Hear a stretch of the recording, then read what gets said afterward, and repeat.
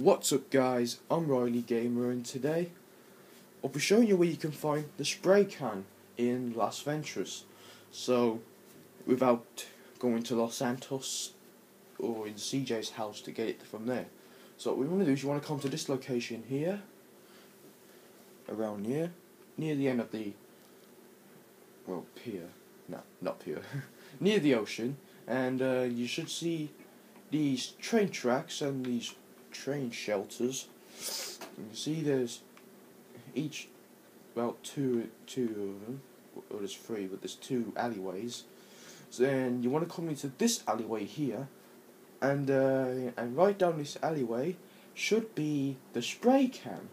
And like I said, it's only just a spray can, like from Los Santos, where you do graffiti. And see, it's just a spray can, and uh, you don't want to feel like going all the way to, you know, CJ's house or in Los Santos. You can just pick it up there. And anyway, guys, yeah, guys, that's it for this video. Hope you enjoyed it. I'm Riley Gamer. Peace out.